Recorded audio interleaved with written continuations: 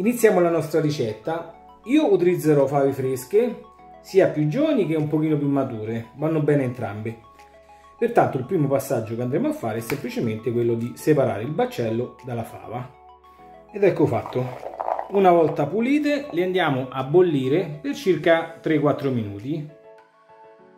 Questo passaggio ci permetterà innanzitutto di cuocerle anche se non troppo, di rimuovere con più facilità la pellicina esterna e rimuovere eventuali impurità. Le possiamo scolare e le mettiamo in una ciotola con dell'acqua fredda. Adesso, con un po' di pazienza, dovete separare il contenuto interno dalla pellicina, semplicemente effettuando una leggera pressione. Una volta separate, ne mettiamo la metà all'interno del bicchiere da frullatore.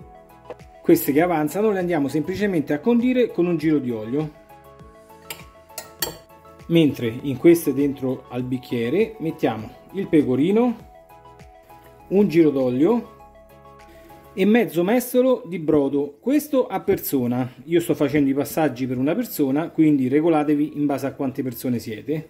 Semplicemente poi con il frullatore andiamo a frullare il tutto ed ecco fatto.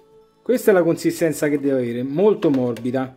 Non abbiamo aggiunto sale perché ovviamente c'è il pecorino, se volete potete aggiungere un po' di pepe o di peperoncino, questo in base ai gusti. Passiamo adesso al guanciale, fettine da circa mezzo centimetro, senza cotenna, che andiamo a tagliare semplicemente in listarelle. Torniamo sui fornelli, tegame dove successivamente cuoceremo il riso e facciamo rosolare il guanciale. Lo cuociamo per circa 5 minuti, dopodiché lo andiamo a togliere. Una volta cotto lo andiamo a sollevare con una schiumarola così da lasciare il grasso nel fondo della padella.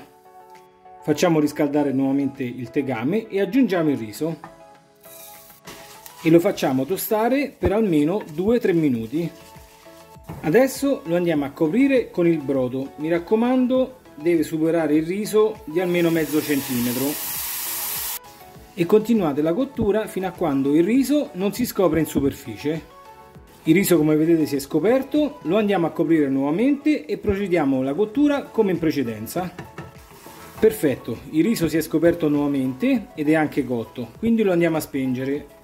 Aggiungiamo la crema di fave, le favette, se volete ne potete lasciare qualcuna per il decoro finale, metà del guanciale e il resto del pecorino. E adesso andate a mantecare il tutto. Ecco fatto, giusto un minutino, il nostro risotto molto cremoso è pronto. Possiamo quindi impiattarlo e mettere sopra il resto delle fave e del guanciale. Così abbiamo concluso questa gustosissima ricetta. Dai, provate anche voi a farla e fatemi sapere come vi viene.